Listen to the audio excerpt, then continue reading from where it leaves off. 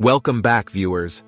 Today we have an intriguing topic that will shed light on lesser-known facts about one of the most infamous nuclear disasters in history, Chernobyl. While many of us have heard about the explosion and its devastating consequences, there are intriguing details that often remain hidden in the shadows. So grab your radiation suits and join me as we dive into the depths of this tragic event and uncover some fascinating information. The nuclear meltdown at Reactor 1. Before the catastrophic accident at Reactor 4 in 1986, an earlier significant incident occurred at the Chernobyl nuclear power plant. In 1982, Reactor 1 experienced a partial nuclear meltdown. This incident, however, remained hidden from the public until after the 1986 disaster, adding to the secrecy surrounding the plant's safety concerns. The partial meltdown at Reactor 1 occurred due to a faulty cooling system. It resulted in a significant release of radiation, though not as severe as the explosion that would happen four years later.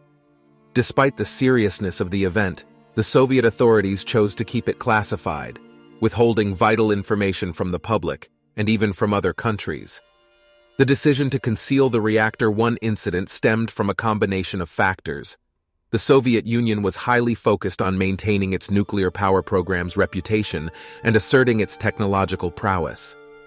Admitting to a nuclear accident would have been seen as a major blow to national pride and could have raised concerns about the safety of Soviet nuclear facilities. The number of casualties.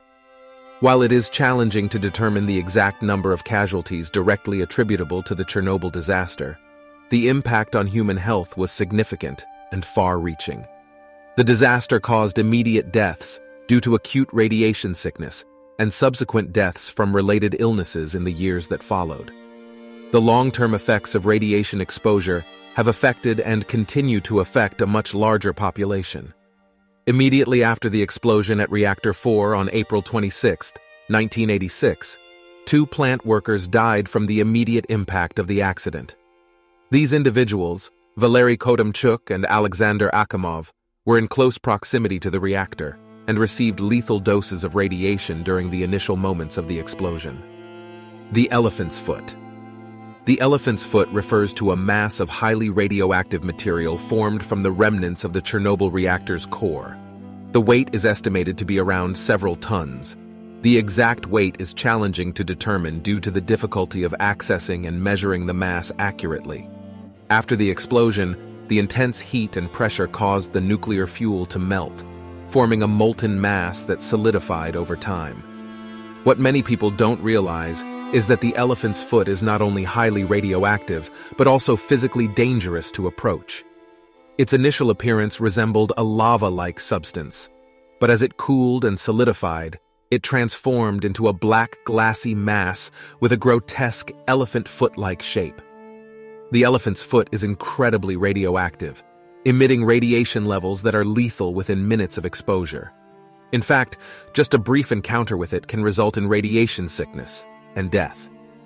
Its intense radioactivity and the risk it poses to human health make it an ongoing challenge for containment and cleanup efforts at the Chernobyl site. The elephant's foot is buried deep within the debris of the reactor, making it inaccessible for direct removal.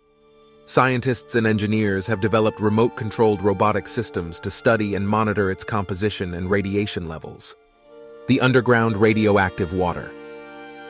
The explosion at Reactor 4 of the Chernobyl nuclear power plant in 1986 not only caused the release of radioactive materials into the atmosphere, but also had a profound impact on the water systems beneath the facility.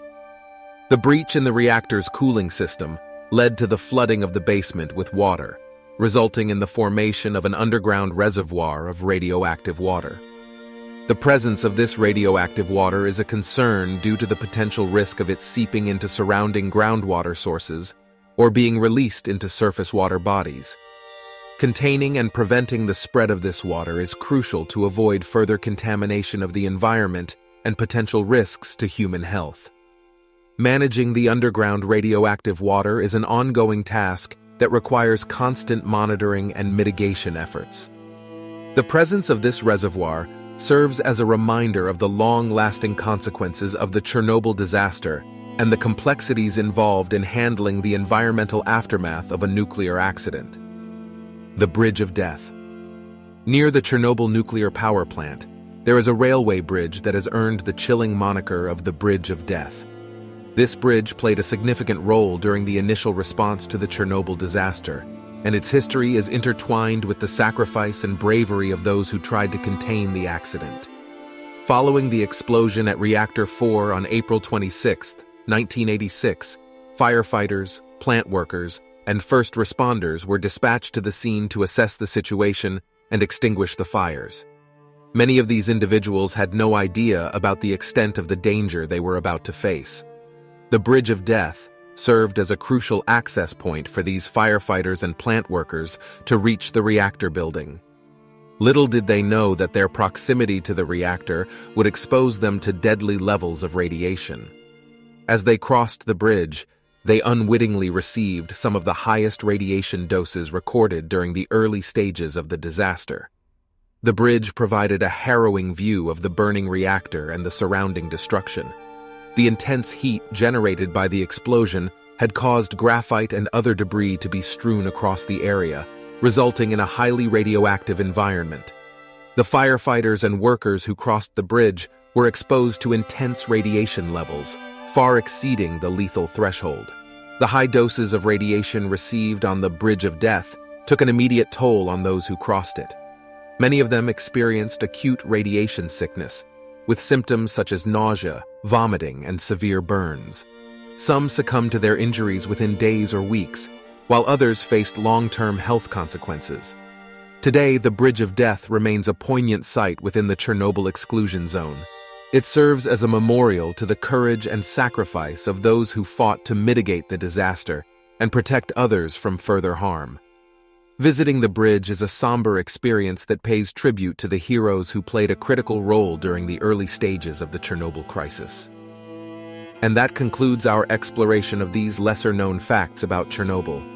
This tragic event serves as a reminder of the potential consequences of nuclear disasters and the importance of safety in the pursuit of energy. Remember to like, comment, and subscribe for more fascinating content. Thank you for watching, and until our next exploration, keep questioning, keep learning, and never stop seeking the truth.